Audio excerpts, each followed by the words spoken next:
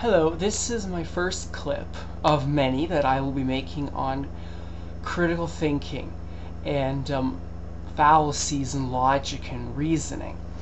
Um, this all started actually uh, with this book uh, called, here I'll show it to you.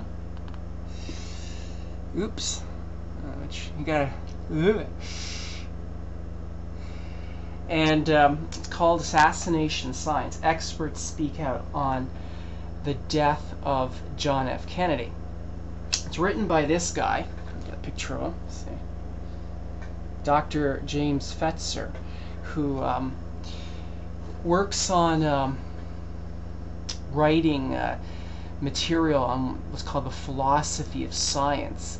And I was just looking through his book, and he has a chapter here, beginning at page 85 of his book, on um, critical thinking. And this is sort of what was the impetus that got me thinking that I should include this in my course. Uh, he, this is what he writes. It's in um, this chapter called Thinking Critically About JFK's Assassination by Dr. James H. Fetzer, PhD.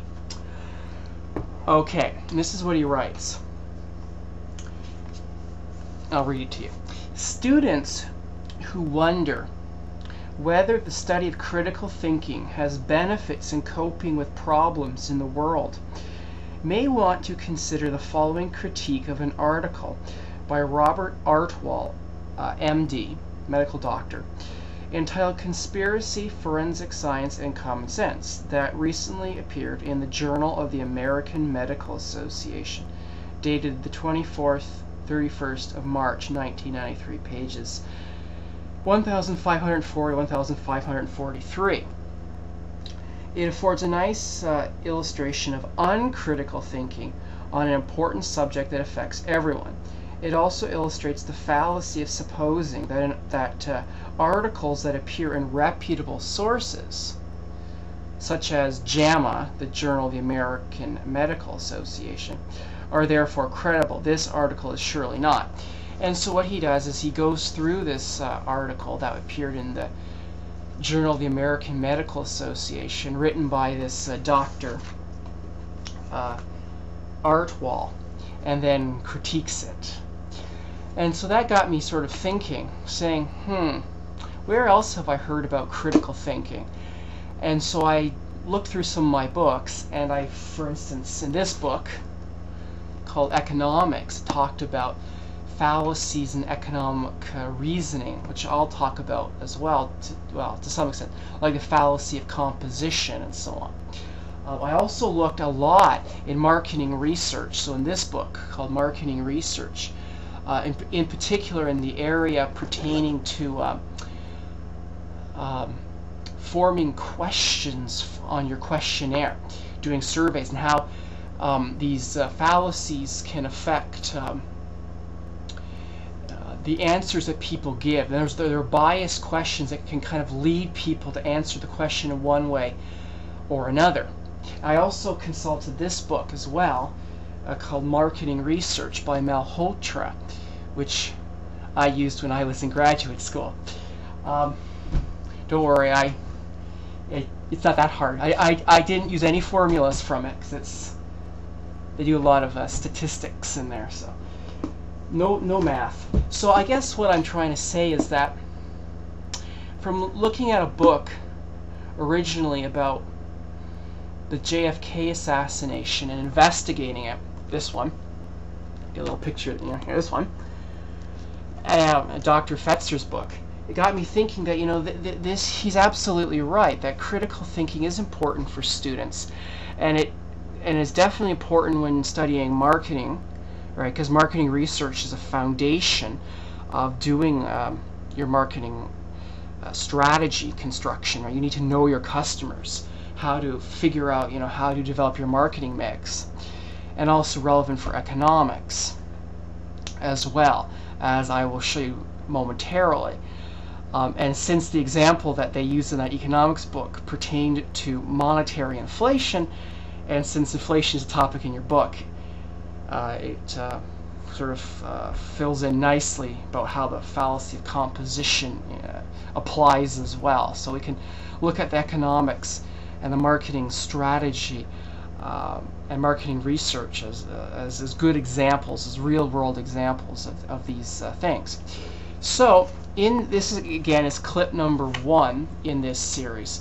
So let me just, um, I, I, picked 12 actually. I decided to, I was going to do 10 originally, but I found two more that looked kind of cool, so I put them in. So the first one is fallacy of composition. Okay, and this pertains to uh, I'm going to explain all these more and more detail in later clips, but I just, I just want to quickly cover them Fa uh, in sort of the, the, the, quick, broad brush in, in this, uh, um, I'm at five minutes, 10 minute clip.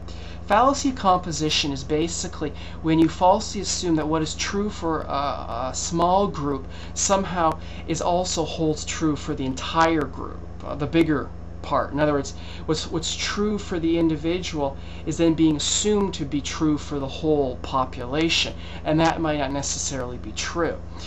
That's why it's called a fallacy of composition. So um, that's the first one. The second one is called is called um, petitio principii, uh, also called begging the question or leading questions. this, of course. Um, Fetzer's example in his book pertains to the O.J. Simpson trial. So that this is a leading questions can be used by lawyers. So there's some legal applications to this. Um, what was the other one? Oh yes, and they also are some um, comes up quite a bit in marketing research as well. Um, when you're asking questions about uh, people's buying um, of products, whether they like something or not, you can create leading questions to lead them to you know saying that they like it or not saying it. So, so this is very relevant as well to marketing, and as I said, also to law. Three was appeal to authority. This uh, it can be a fallacy or not a fallacy depending upon um, you know what the the expert that you're appealing to, what their actual skill set is.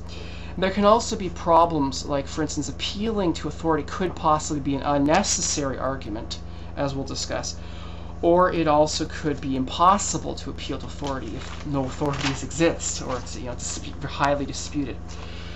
Here, then we're talking about straw man argument, which basically is sort of like creating a caricature, an exaggerated sort of false version of your opponent's argument, and then attacking that sort of fake version, and then claiming that that disproves their actual real argument.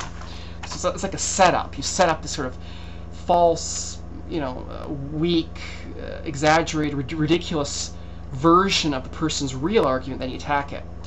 You, you attack the, the ridiculous version, and then claim that that somehow proves that the, the original uh, argument was not um, uh, correct. The fifth one is ad hominem. This is when you attack the person or their motives or their character. Okay?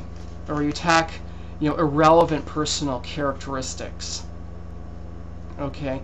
Or you appeal to emotions or prejudices or special interests. You say stuff like, "Oh, the only reason so and so said that was because you know some some sort of special interests. Like they're they you know you would expect them to say something like that because they're biased. They have some sort of agenda or something.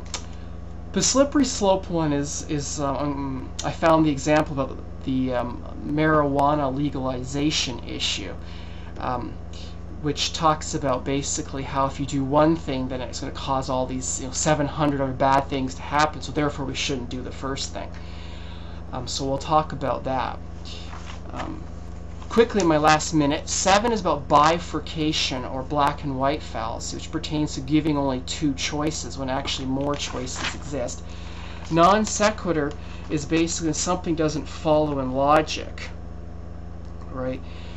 Okay, it's like it's like you have basically a premise and a conclusion that are completely unrelated. Actually, I'm going to have to make another clip. i have run out of time. I'll come back and quickly cover what 9, 10, 11, 12 is about, and then go into much more detail about and give some examples of what each one means and how they apply to business and economics and so on.